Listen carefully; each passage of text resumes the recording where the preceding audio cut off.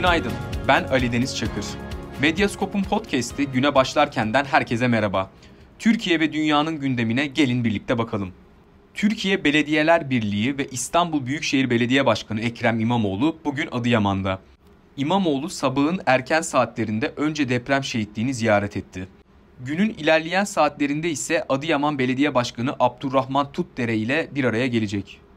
İmamoğlu son olarak Türkiye Belediyeler Birliği encümen toplantısına başkanlık edecek. Toplantının ardından açıklama yapacak. CHP Genel Başkanı Özgür Özel Balıkesir'de ziyaretlerine devam ediyor.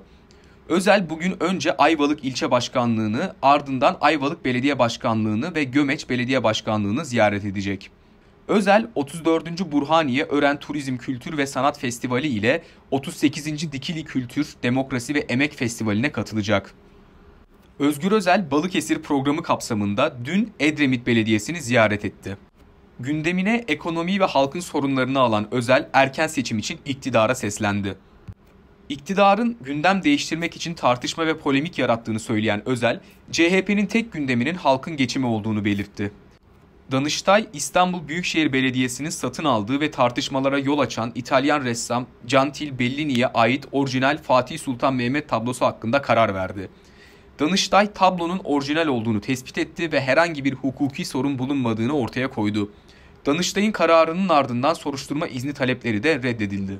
Kültür ve Turizm Bakanlığı Sinema Genel Müdürlüğü, yönetmen Zeki Demirkubuz'un son filmi Hayat'ın bu yılki akademi ödüllerinde Türkiye'nin en iyi uluslararası film adayı olduğunu açıkladı.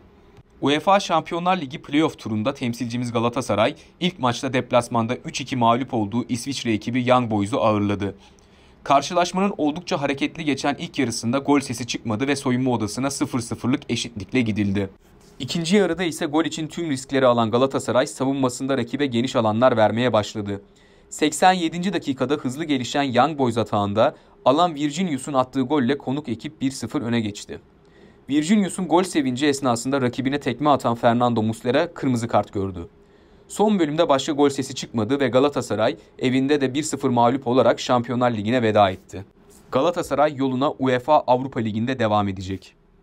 Medyaskop editörleri ve muhabirleri olarak gündemi takip etmeye devam edeceğiz. Medyaskop'u Instagram'dan, YouTube'dan, X'ten, Facebook'tan veya web sitemizden takip edebilirsiniz. Ayrıca bize Patreon ve YouTube'un katıl butonu üzerinden de katkıda bulunabilirsiniz. Yarın yeniden dinlemeniz dileğiyle, hoşçakalın.